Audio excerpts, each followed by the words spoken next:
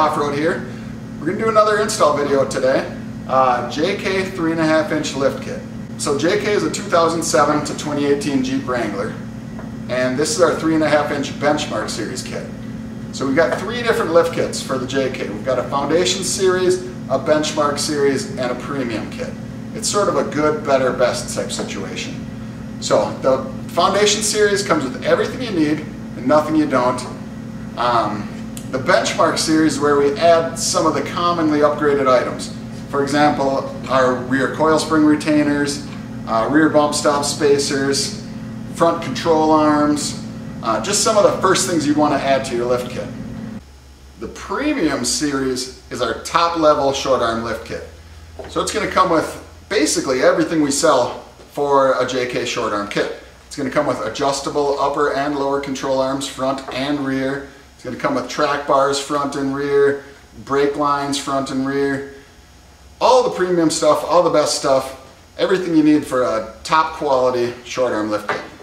So with our Benchmark Series lift kit, here's all the parts you're going to get.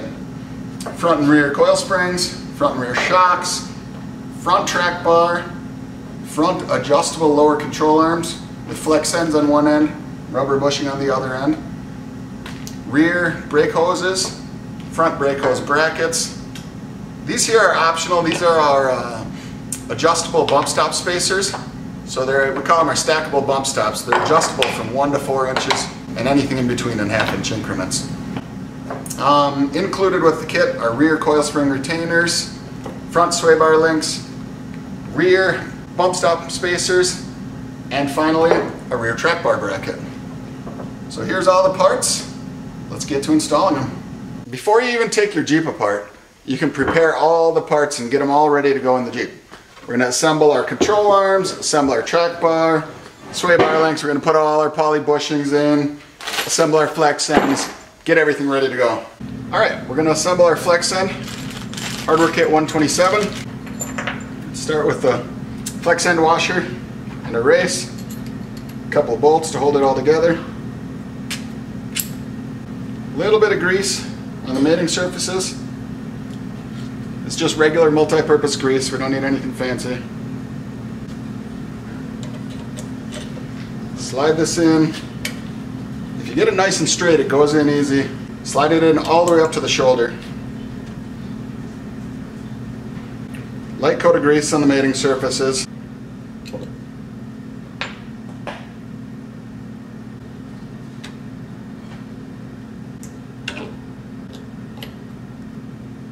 Of our parts are made in-house, designed and built right here in the building. So that allows us to run a very tight tolerance. We can do cool features like this with no wrench needed.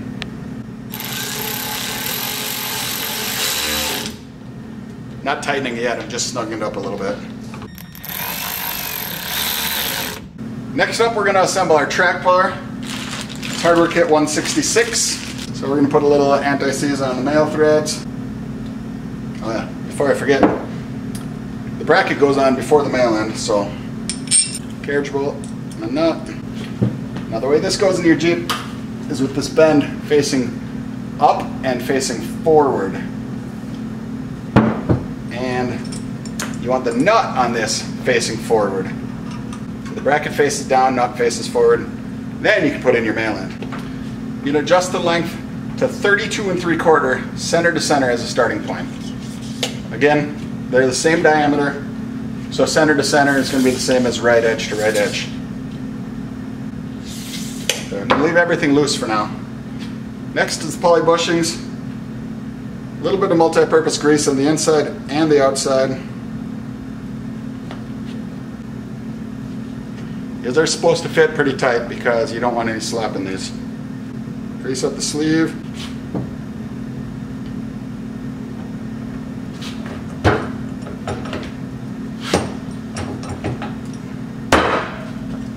Track is ready to go in. Next up is our sway bar links. Just a light coat of multi-purpose grease. Put grease on the inside.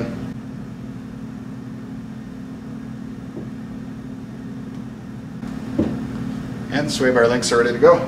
Next up is the rear shocks. You're going to need hardware kit 165, which is the bar pins, and the shock sleeves are in with your shock hardware. A little bit of multi-purpose grease. The lower side is going to get the uh, 12 millimeter shock sleeve, and the upper side is going to get the bar pin. We ground down one side so it's angled so you can insert it. Um, put a little grease on that side. Set it standing up in the vise. Grease up your bushing well. This on. Until it goes on. The rear shocks are ready to go. Alright, front shocks. We'll start with the uh, fancy washer and the stud bushing. Throw them both on here for now, just to keep it all together and ready to go. Just very light coating of grease.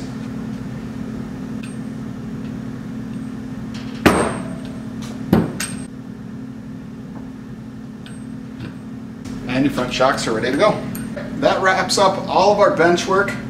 Now it's time to take apart the Jeep. Take these tiny little tires off, throw them right in the trash. Next up, we're going to remove the shocks. We're going to remove the sway bar links, lower control arms, track bar, springs,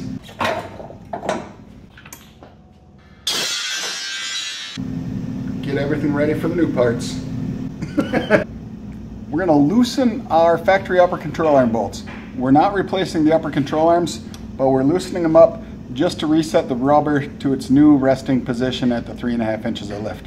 Rubber bushings like to flex, they don't actually pivot, so you need to reset them to the, through their new resting position. Now we are adding caster to this kit, so your new lower control arm is going to be a little bit longer than your old ones. Normally I recommend putting in the rubber bushing in first. Um, we've got a hoist arm in our way, so. The bend goes up for ground clearance and in to clear the tire. Now one thing you do need to do for extreme flex, you just need to grind a little bit of clearance right here. We're gonna grind off this corner right here. It's the uh, inside corner towards the center of the Jeep.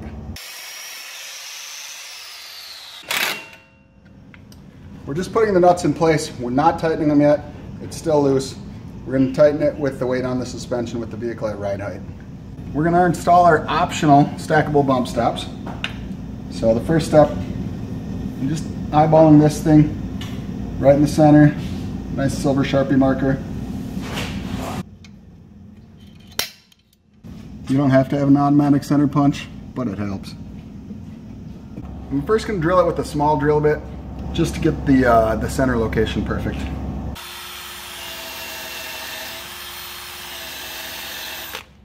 Show you peck drill and use plenty of oil. All right, I put some blue Loctite on the bolt. Got our fancy flag nut.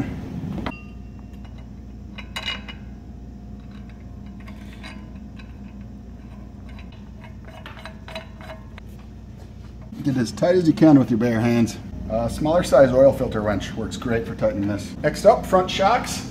A little tricky on the passenger side. So many things are easier to work on on JKs than other Jeeps, but this is not one of them. Next up is sway bar links. Use the brand new bolt on the top, washer on the back. Washer on the outside. Nylock nut. The bottom side we're going to use the factory bolt with the factory washer head nut. Next up is the track bar. Reuse your factory bolts. Reuse your factory flag nut. This is where it helps to have a partner turn the steering wheel until it lines up.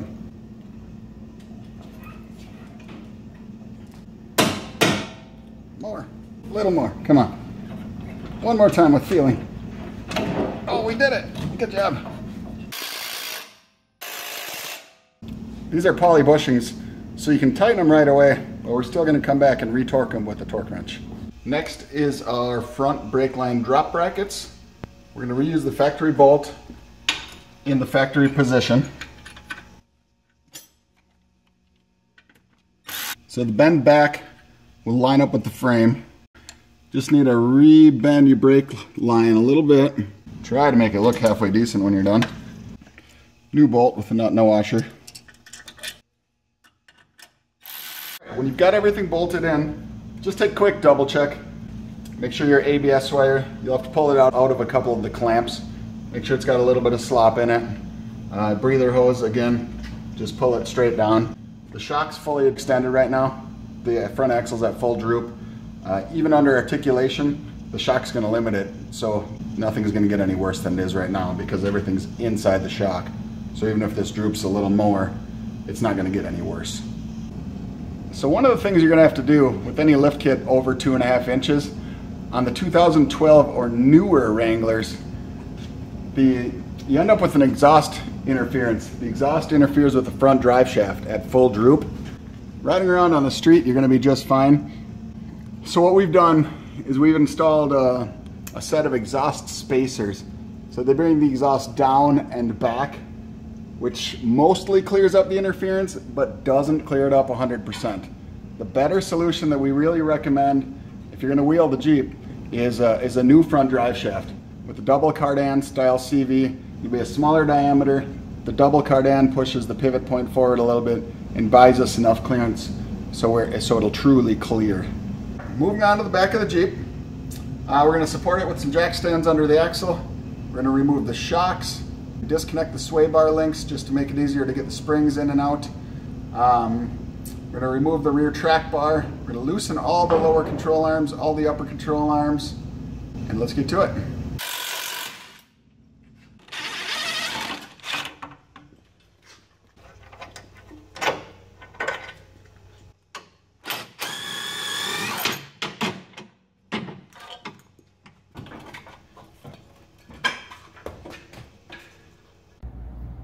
Hey guys, a quick interruption to our previously recorded video because we have had a change to our upper coil spring retainer cone. Um, previously we had a, a, stud that was going to go into here uh, and then you would have to tighten the hardware at the top of the frame. Uh, we tried to make it a little bit easier to install. You're going to take a, just a standard bolt, uh, which, which is provided. You're going to drop that on in. You can kind of see that. Uh, and then that's going to make it up to a, uh, a weld nut and you can kind of see it's got the teeth all the way around it. That's going to go up on top of the frame there, and those teeth are going to grab the frame so that when you tighten it up, it doesn't spin. So, first thing first, get the nut plate up into position here, and just try and get it as straight as possible so it's a little bit easier to guide that bolt home.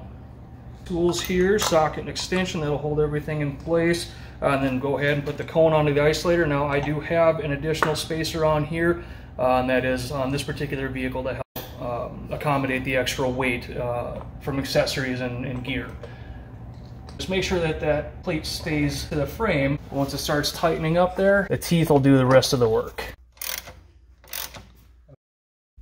All right, now with the upper coil uh, retaining cone in place and torqued down, ready to get the coil back in there and put the lower retainer on as well. Uh, to start on this one, uh, I am putting on our optional coil correction uh, pad. We do have another video out there. Highly encourage you check that out. Uh, now that that's on, we can go ahead and get the spring into place. Just guide that right over the cone.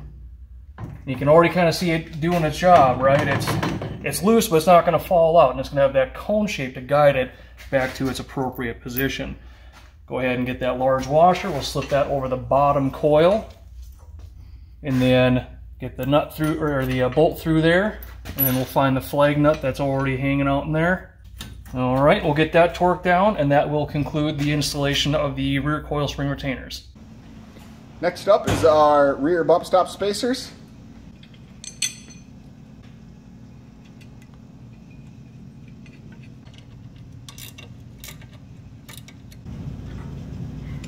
You may be wondering why we give you rear bump stop spacers and not front bump stop spacers. Well, this is a benchmark series kit. We've got our foundation series, our benchmark series, and our premium series. The benchmark is specifically designed to include some of the common upgrades. One of the first things you're going to want to do to your JK, if you wheel it hard, is get more suspension travel, more articulation. So to do that, you're going to need longer shocks. It's really easy to put longer shocks in the rear. The only problem you're going to run into is that your coil springs are going to fall out and your brake lines aren't going to be long enough. So that's why we include the coil spring retainers, the bump stop spacers, which are required with coil spring retainers, and the stainless steel braided brake hoses. Include that all just to get you a lot more suspension travel, more articulation, a better experience on the trail. Next up, rear track bar bracket. Right on over your existing. This sleeve goes inside to take up the space. Nylock nut. U-bolts. Second U-bolt goes on the inside. Tighten everything up and we're done. Next up is our rear stainless steel brake hoses. Reusing the original bolt. Goes in at the same angle as the old one. Self-drilling screw. I forgot to mention, break this flare nut loose before you remove this bracket from the frame.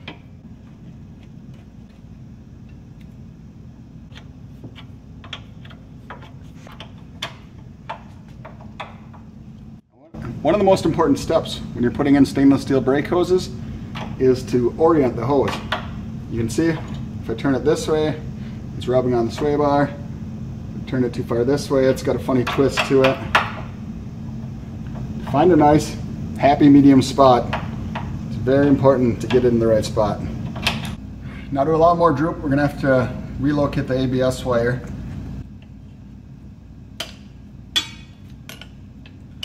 E-brake cables are also tight. So I'm gonna unbolt them from the floor.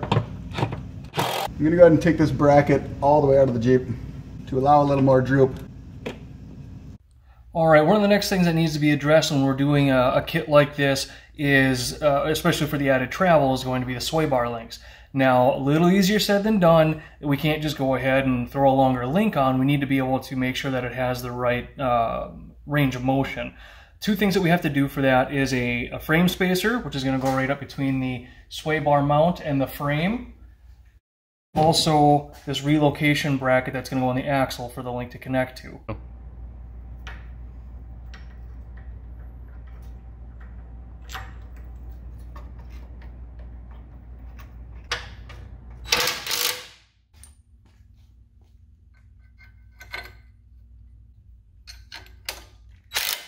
All right, now that we've got the bracket bolted up on the uh, axle side here and we've got our spacer up at the frame side, time for links.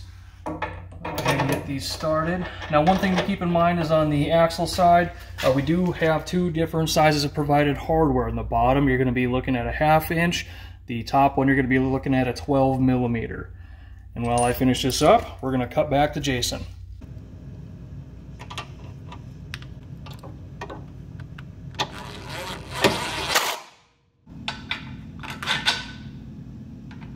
Next up, we're putting the track bar back in.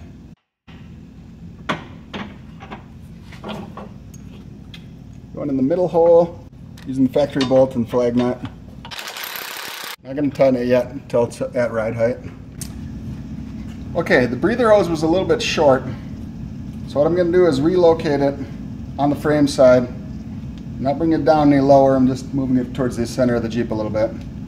So this is the factory clip that held it back here.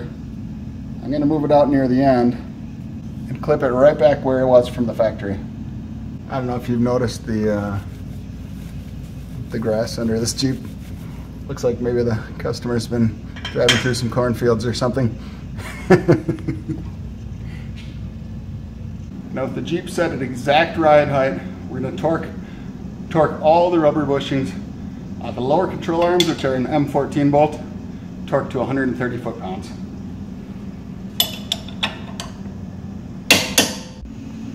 Well, our installation's all wrapped up. First of all, just look at it. It just looks fabulous. This is 37 inch tires. It's gonna need just a little bit of trimming to clear these for some serious off-roading. So we weren't able to flex it out on the forklift. I really wanted to show you guys that. But drove it down the highway, it drives really nice. Off the highway, it's gonna have some great articulation. Got some nice long shocks. It's gonna travel really well front and rear. It's gonna really flex well. So all in all, a huge improvement in this Jeep overall.